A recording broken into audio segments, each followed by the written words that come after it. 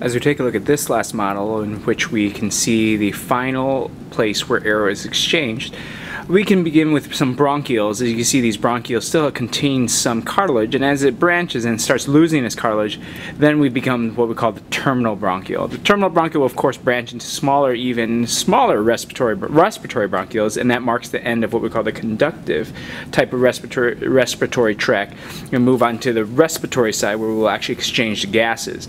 As we continue to move through, what we'll find it goes ter terminal bronchiole, bronchiole to terminal bronchiole to respiratory bronchioles. Respiratory bronchioles will then end into a very large alveolar duct. And that you can see this kind of duct here that kind of extends into this little small sac of alveoli. And then each individual little dot here or bubble is considered an alveoli. Uh, the substance here at the alveoli is that it contains simple squamous epithelium some macrophages and some other cells that was produce surfactant. You can see all these different branches, multiple places where lots of capillaries will go uh, to be able to absorb all that oxygen.